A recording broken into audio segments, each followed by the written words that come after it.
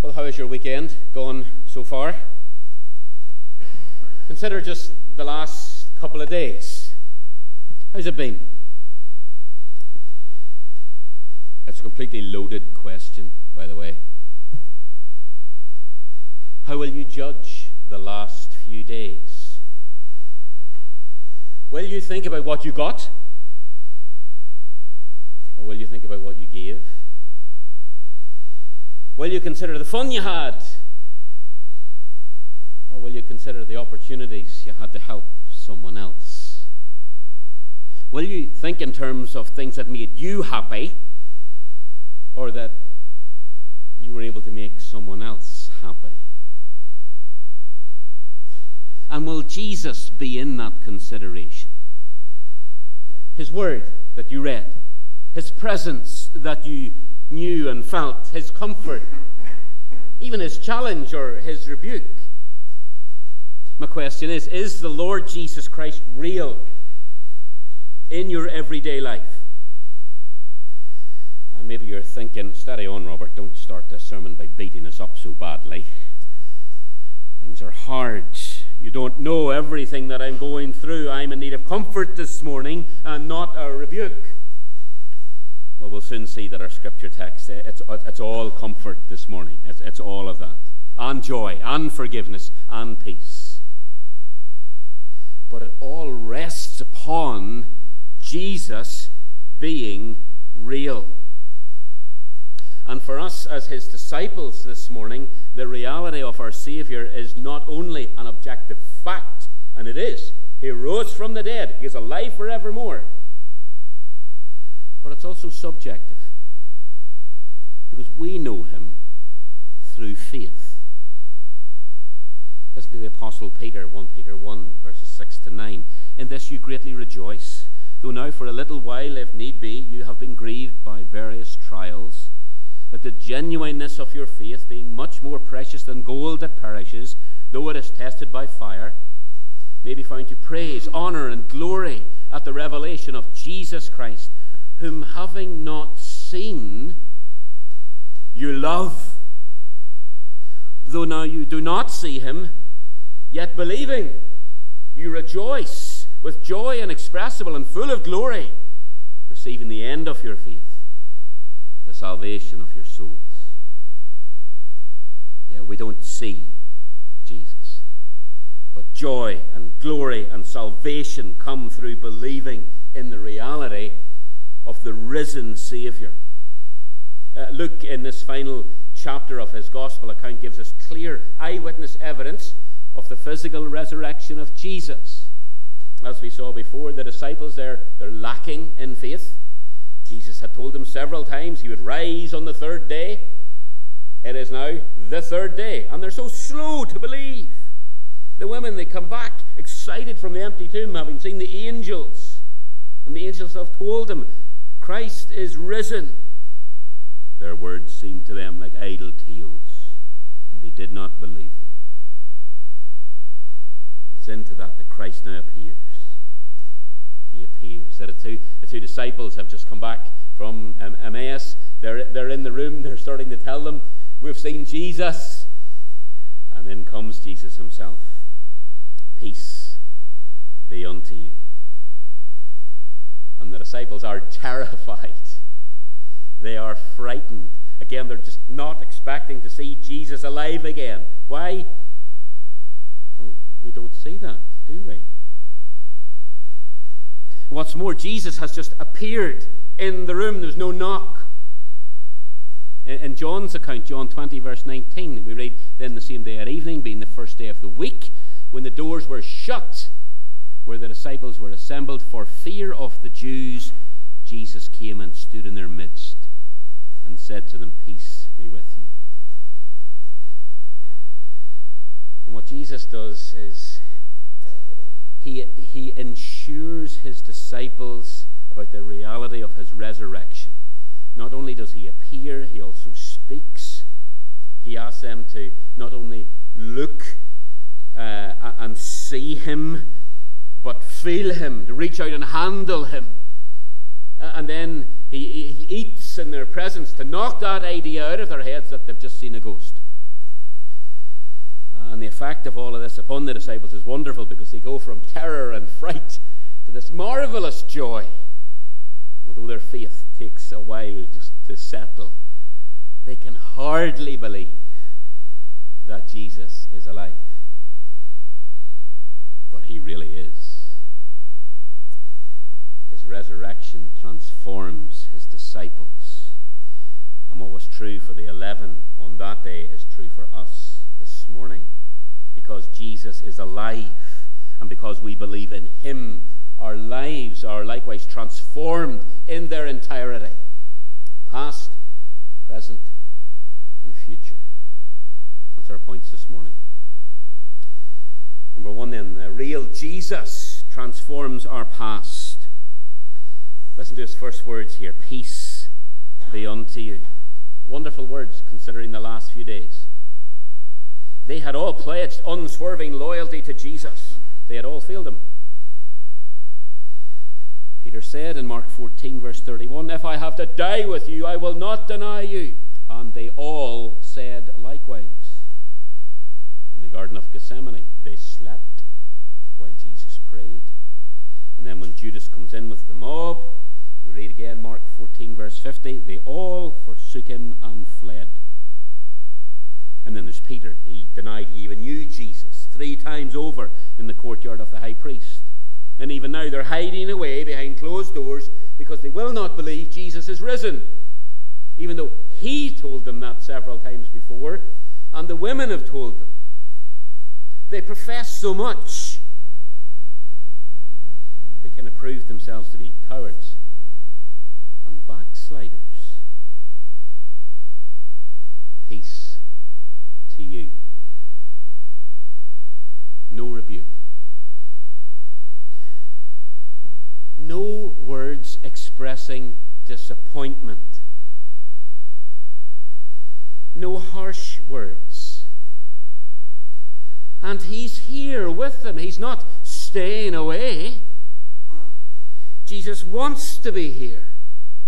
And he's come to them where they're at. And he knows their fears and he knows their weaknesses. He knows their failure. He knows their sin. But he's here. And he speaks peace. He makes peace. That's what he's done. Isaiah 53, verse 5. But he was wounded for our transgressions, he was bruised for our iniquities. The chastisement for our peace was upon him. How can Jesus so freely pardon these disciples? How is it that he can come in and just bless them with peace? It's because he was delivered up for their offenses. It's because he was raised for their justification. So Paul can say in Romans 5 1, therefore, therefore, because he died, because he rose again, therefore, having been justified by faith, we have peace with God through our Lord Jesus Christ. So consider again your past few days.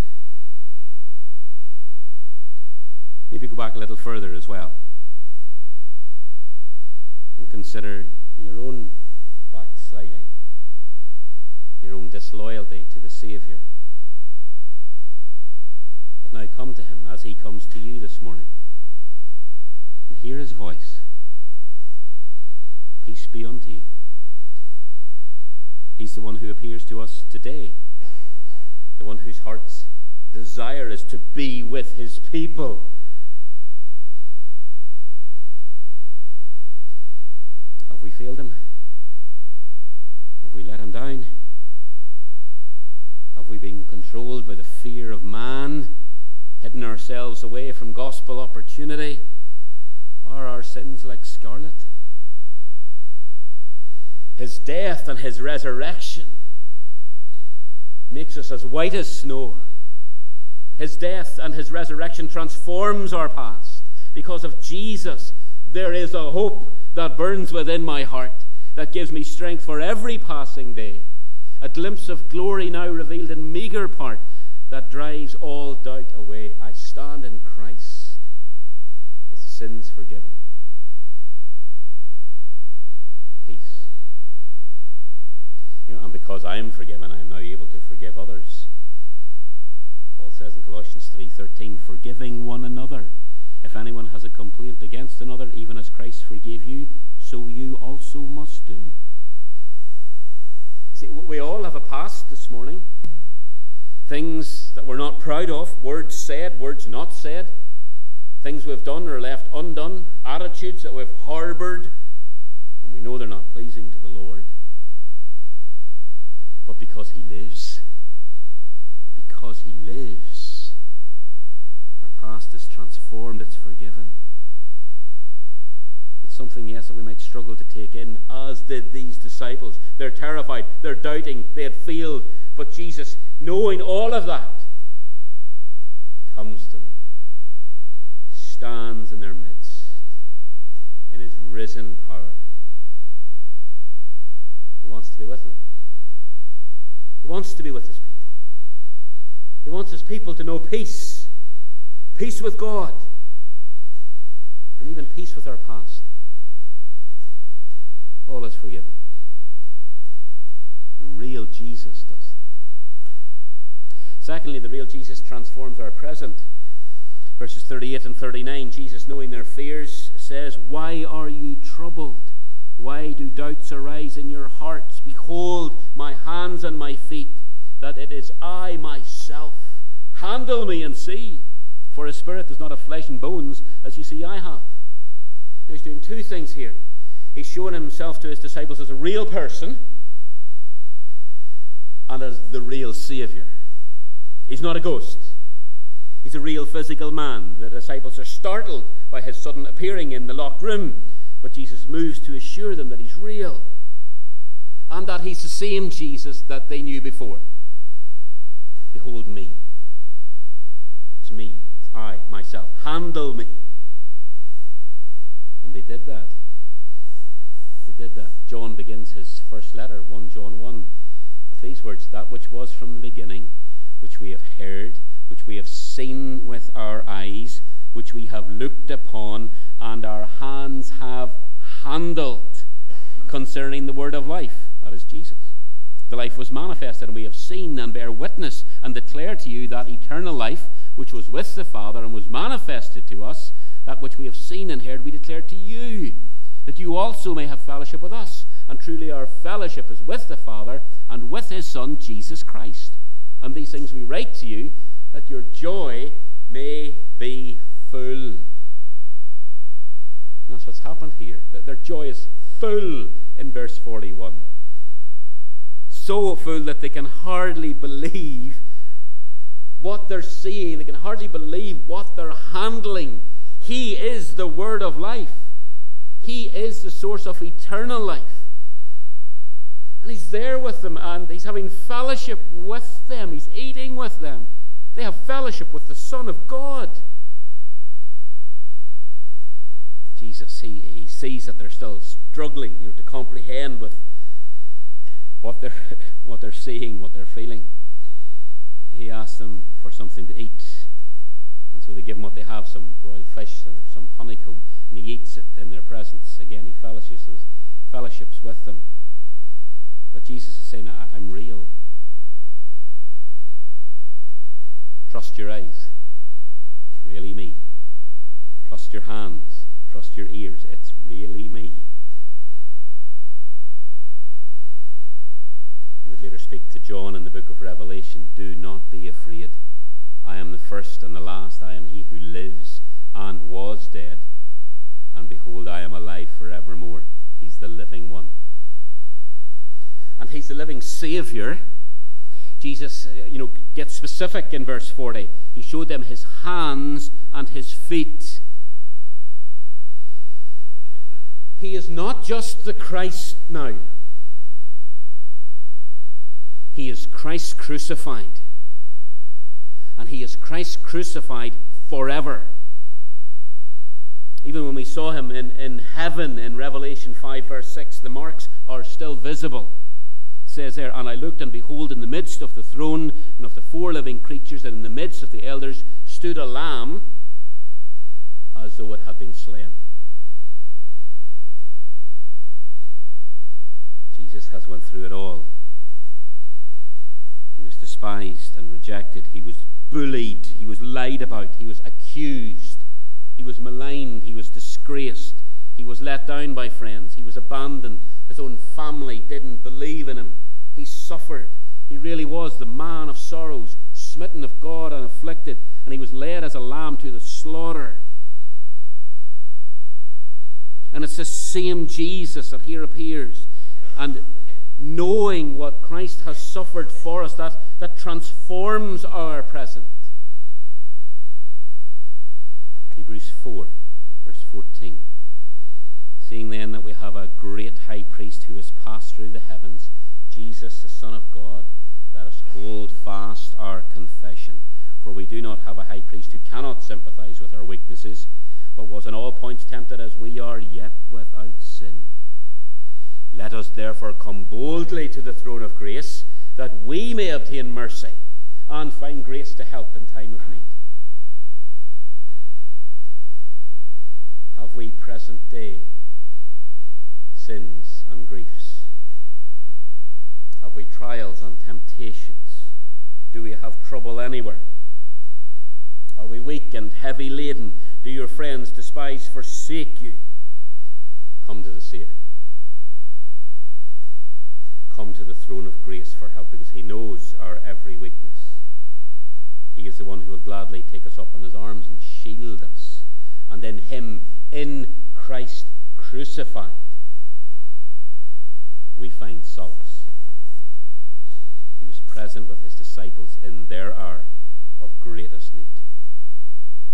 And He promises to never leave us or forsake us. Verse 38 there.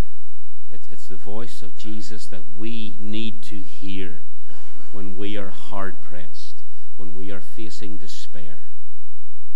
We need to hear it as it is here from the lips of Christ crucified. Why are you troubled? Why do doubts arise in your hearts? Behold my hands and my feet, that it is I myself. It's this Jesus that we need to hear. It's this Jesus we need to handle. And for that reason, you know, we need to be here in church to meet him. We need to meet him in our Bibles every day. We need to be living our lives in the knowledge that Christ is, is with us, knowing that we live with the real, risen Christ crucified. That transforms our present day. When we live with Him, then we will also preach Him to the world around us. As Paul said, we preach Christ crucified. And then, thirdly, the real Jesus transforms our future. Uh, death is not the only future that awaits us. Uh, Paul says in 1 Corinthians 15, and I'm going to quote quite a bit from it just in this last point if you want to turn it up in your Bibles, 1 Corinthians 15 verses 20 to 23. But now Christ is risen from the dead and has become the firstfruits of those who have fallen asleep. For since by man came death, by man also came the resurrection of the dead. For as in Adam all die, even so in Christ all shall be made alive. Are you in Christ this morning? Are you a Christian? Are you in Him? Then you will rise again and you will rise again physically. Yes, at, death, our souls and our bodies, they are, they are parted. Our souls, they are immediately in the presence of Christ. Our last breath here in this life is the beginning of that life of bliss in heaven itself. And as the confession says, our bodies, still being united to Christ, do rest in their graves until the resurrection at the last day. And that resurrection at the last day is guaranteed by Christ's own resurrection. He was really raised physically and transformed physically. Still recognizable, but glorified. Able to disappear from the house in Emmaus. Able to appear in this room here in Jerusalem. And those things, they might sound you know, make believe. But we have these eyewitness accounts in our Bibles, in the New Testament. It's guaranteed. All in Christ shall be made alive. And as Paul writes that, he knows you know, that, that teaching will meet with objections. 1 Corinthians 15.35 But some will, someone will say, How are the dead raised up? And with what body do they come? Paul has seen the risen Jesus on the road to Damascus, and he is confident of the resurrection for every believer. And what he does here is he likens the death of the Christian to a seed being sown in the ground. 1 Corinthians 15, verse 37. And what you put in the ground is not the plant that will grow, but only a bare seed of wheat or whatever you're planting.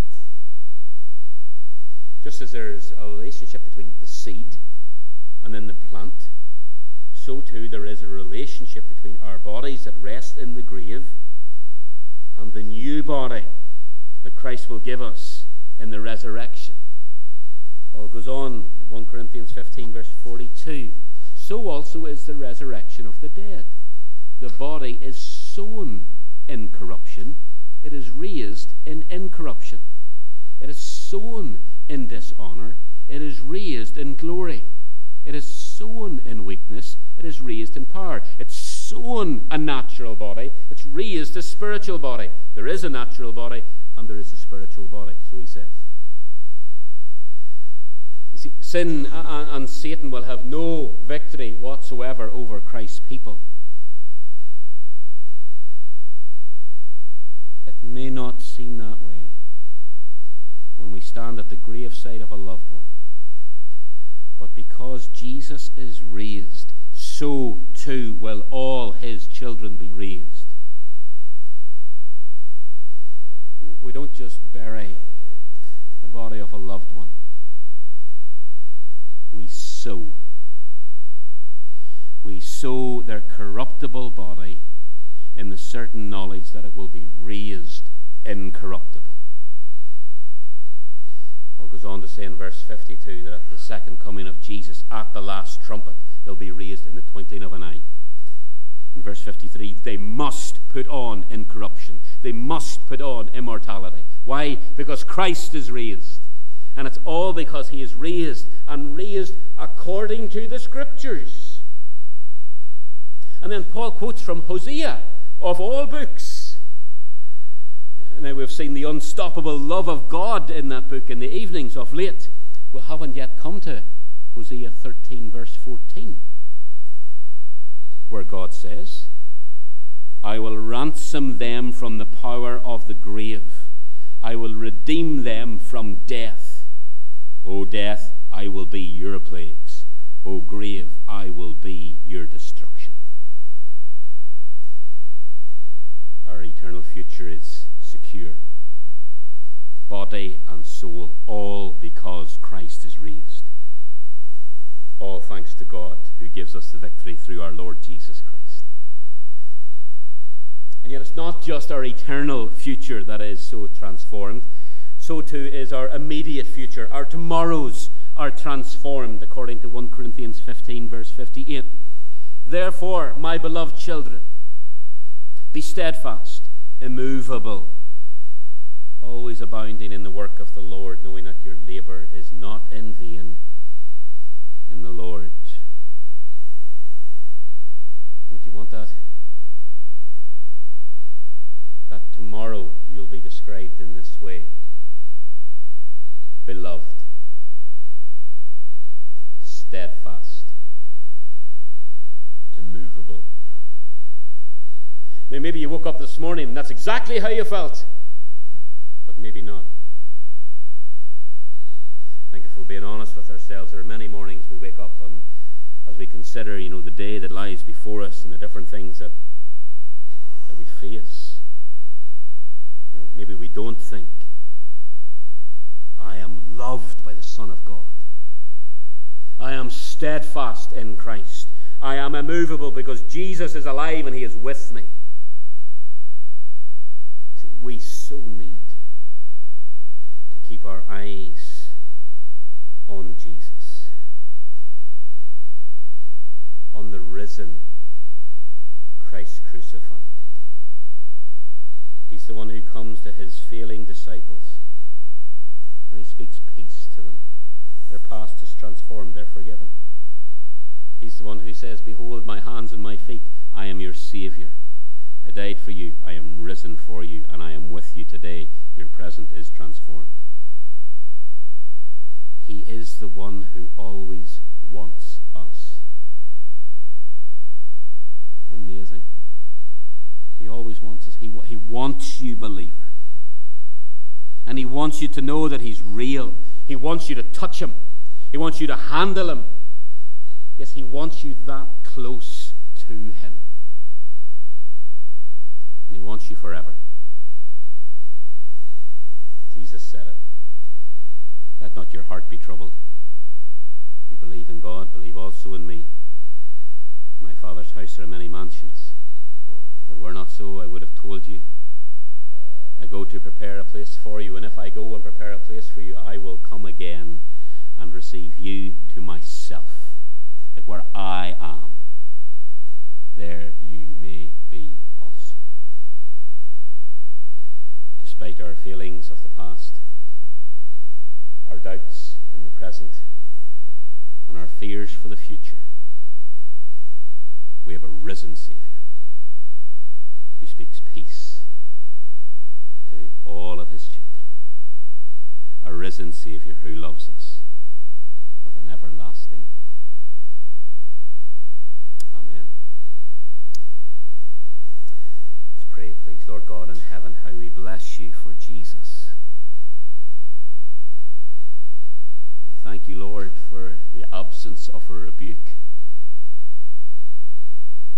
We thank you, Lord, for his presence with his people. We thank you that he is Christ crucified and alive forevermore.